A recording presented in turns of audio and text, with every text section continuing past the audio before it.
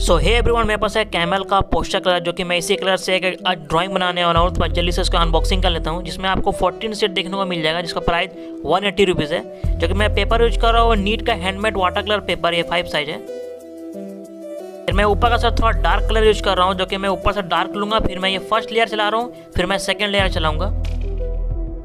फिर मैं एक हल्का लाइट पिंक यूज़ कर रहा हूँ, फिर मैं डार्क पिंक फिर मैं थोड़ा बैगनी लाइट कलर यूज़ करूँगा।